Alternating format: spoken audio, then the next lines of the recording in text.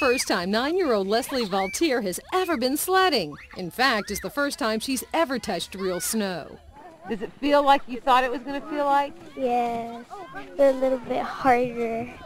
Leslie and 15 other Bay Area children are spending the weekend in the High Sierra, thanks to volunteers from the Sierra Club. This is the sledding lane. This is the walking lane. During the week, Arca Larson sells insurance. It's, it's kind of tricky, huh? Will Chi is a high-tech engineer. Right, left, right again. Jerry Rooney is a videographer. But several weekends a year, they step out of their routine and head for the mountains with a pack of kids who wouldn't be here any other way.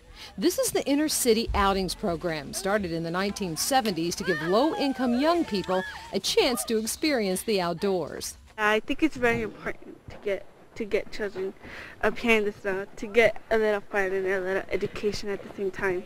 Biologist Allison Chin has volunteered for 18 years. I think it exposes them to things they might not otherwise see. Um, a lot of it's about teaching them that the outdoors is, belongs to all of us. Um, what we hope to do as Sierra Club members is, you know, plant the seed in, in the future advocates who are going to really help to save the, the planet. In the winter, the trips focus on the snow. The kids stay at a lodge in the Tahoe Donner area. But the rest of the year, there are other adventures river rafting, kayaking. I've been camping. I've been to the hot springs.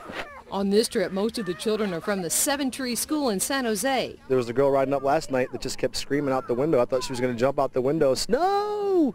I want snow! The volunteers do constant fundraising to pay for the trips. They even supply the clothes kids need to keep warm. The Inner City Outings program keeps a storage shed full of supplies. And every trip, someone volunteers as equipment manager. Uh, making sure we have the right sizes for the participants in the trip and making sure the equipment uh, when the trip is over is uh, properly dried and cleaned and then returned. When you add in the preparation, this snow trip took a total of about 400 volunteer hours, shared by seven people. How does it make you feel, though, knowing that you're giving someone an opportunity to see snow for the first time? you could make me cry right now.